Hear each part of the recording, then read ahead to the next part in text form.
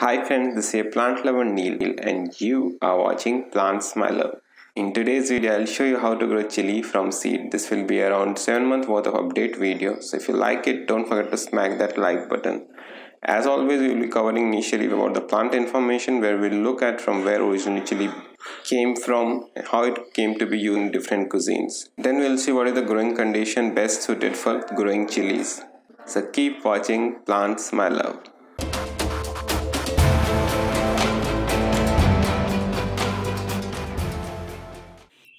Chili pepper, or in short, chili, is a perennial tropical or subtropical plant that requires a blend of warm and humid dry weather. It is a member of the capsicum genus and it belongs to the nightshade family from which several other vegetable crops like tomato, potato, eggplants belong to. Chili peppers originally belonged to the South America, in particular East Central Mexico, and has been growing there since 6000 years. But it's only been around the 16th and the 15th century when the chili use spread to the other continents of the world when South America continent was discovered by Christopher Columbus which is known as the Columbian Exchange where several cultivars from the American continents as well as other way around from the rest of the world to the American continent exchanged via trade and it's then when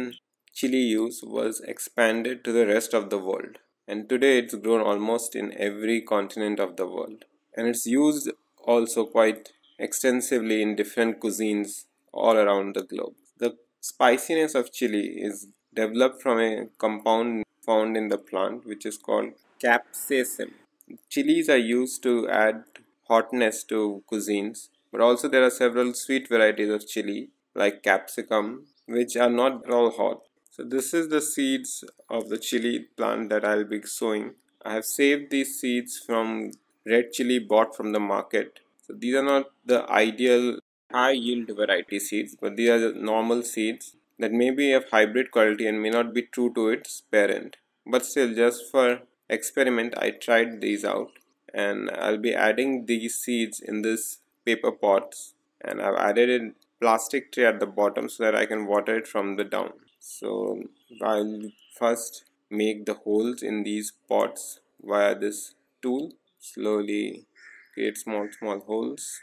And since the seeds are not very big make sure you do not create a very deep hole. Otherwise the seeds will find it difficult to germinate out of these holes. So make a shallow hole.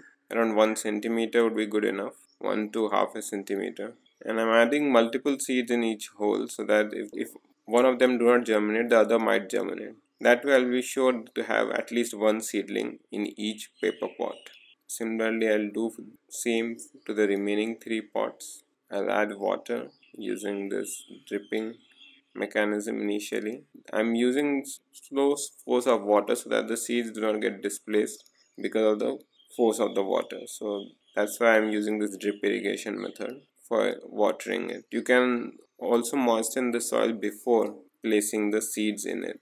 So this is an update after one month and you can see the seeds only one of the seeds from the six that I had used germinated actually more seeds germinated but there was an issue with the paper pot because of which I lost several of them and the weather was also quite warm and the moisture content was also quite high so that's why only one of them survived out of six so this is the seedling you can see this is the result after one month of seed sowing so it took quite a lot of time for the seedling to be ready for transplantation. So using this tool I am now creating a hole in which I'll place this seedling. So I have created a deep enough hole so that this entire soil block goes straight in through it.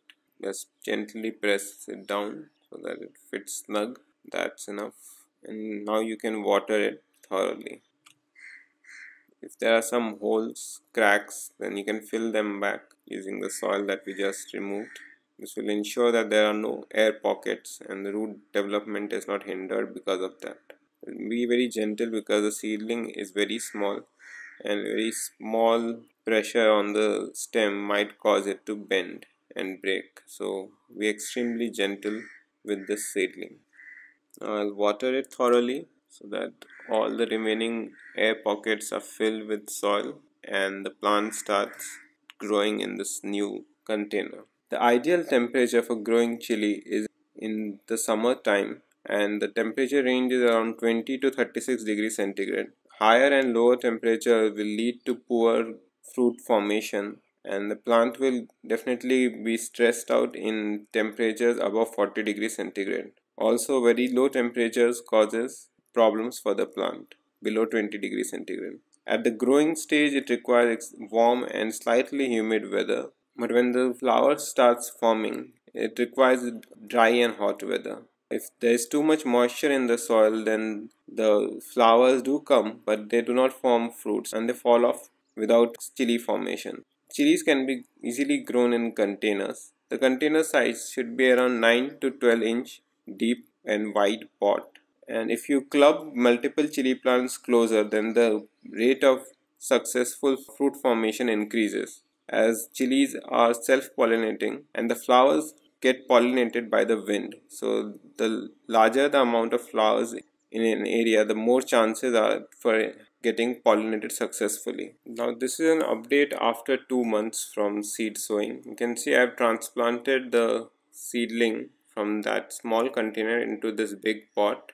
I was not able to film that stage but you can see the plant has grown quite a bit and it looks extremely healthy. You can see the new growing tip of the plant and now monsoon has started so it's been raining on and off that's why the soil is quite moist. Now this is an update after seven months. So after seven months you can see the plant has grown quite big and it's quite old now. Some of the lower leaves have fallen but that's nothing to worry about. You can see it started to develop small small chilies all over it. You can see over here one two this is third.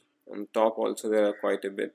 You can see this is the flower that is just today it has completely bloomed here. You can see how beautiful that small white flowers are. It looks similar to eggplant because they belong to the same family. You can see here several flowers have started forming. Chili hope friends you love this video. And if yes make sure to subscribe to our youtube channel plants my love. And don't forget to smack that like button. Share this video with your friends and family whom you think could benefit from it. Thanks for watching friends. See you later. Bye